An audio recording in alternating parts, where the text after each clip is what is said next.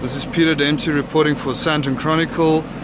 We're here in Buccleuch after the recent rains. The whole bridge is completely flooded again and the JRA is currently on site clearing the bridge making everything usable again. As you can see now the digger is going underneath the bridge there and taking out the rubble